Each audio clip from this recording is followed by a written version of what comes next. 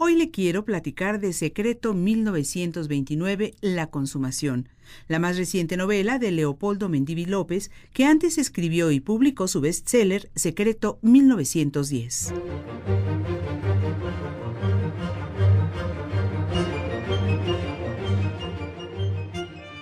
Básicamente, Secreto 1929 es la inevitable consecuencia de lo que ocurrió en 1910, para lo que se trataba Secreto 1910 cuya tesis y bueno, los hechos que se manifiestan ahí es que la Revolución Mexicana no fue planeada en México y que fue financiada por los Estados Unidos a través de, bueno, eh, eh, fundamentalmente por una corporación llamada Standard Oil,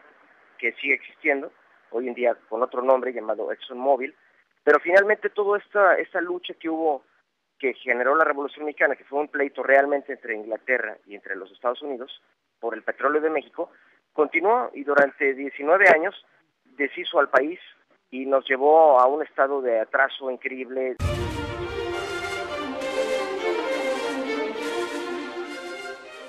En Secreto 1929, volvemos a encontrar a uno de los personajes de su novela anterior, y en esta ocasión, Mendivi López elige otro año clave en la historia de nuestro país, 1929, momento en el que se libra una de las elecciones más cuestionadas y cuando se da origen a uno de los partidos de más largo aliento en el poder, el entonces PNR.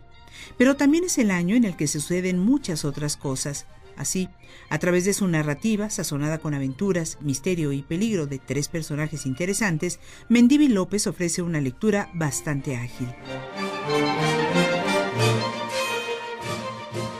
En 1929, y por eso la continuación se ubica ahí como Secreto 1929, porque todos estos poderes mundiales finalmente eh, llegaron a un acuerdo, que fue un acuerdo de paz del cual surgió la Alianza Británica-Americana, o sea, básicamente la alianza de Estados Unidos con Inglaterra que libró la Segunda Guerra Mundial contra Hitler, y en ese uno de esos acuerdos fue que en México ya se declarara un poquito la paz, y esa paz se convirtió para fines de nosotros en el Partido Revolucionario Institucional, entonces llamado Partido Nacional Revolucionario. Pero la idea del secreto 1929 es que la gente, ah, bueno, uno, yo mismo soy de los primeros que he sido siempre un estado intrigado en cuál, cuál es la verdadera razón de que todo esto hubiera ocurrido, cuál es el verdadero motor de que surgiera ese partido llamado Partido Nacional Revolucionario, hoy, hoy PRI.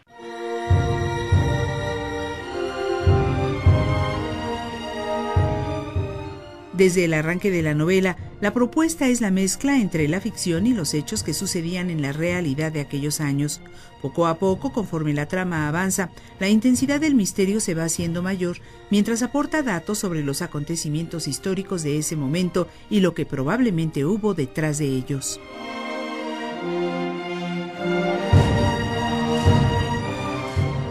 Así, en Secreto 1929, el novelista se acerca a personajes de aquellos delicados momentos en la historia de México, algunos de los cuales aparecen, por cierto, en la portada.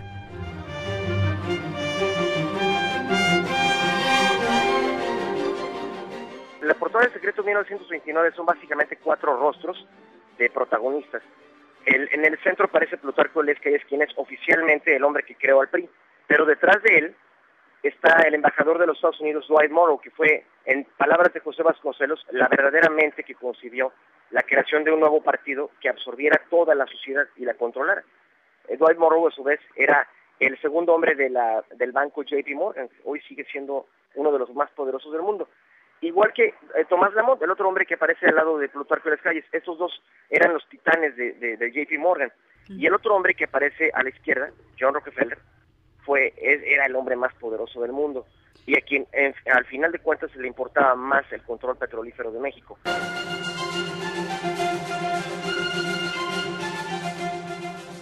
Y uno de los personajes más importantes de esos años. Vasconcelos es, es, la persona que está abajo, que está dentro de un triángulo, porque José Vasconcelos finalmente es el héroe en esta novela. Él fue el primer hombre que trató de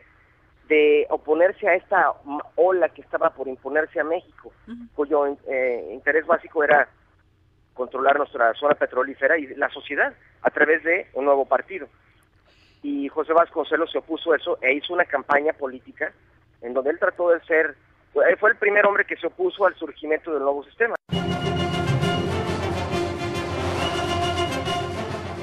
Mezcla de ficción y realidad si le interesa el tema, la lectura de Secreto 1929, La consumación de Leopoldo Mendivi López, le resultará entretenida y probablemente le dejará pensando. Está editado por Grijalvo. Le saluda Blanca Lolbe. Agradezco como siempre la colaboración de Juan Carlos Cázares para esto.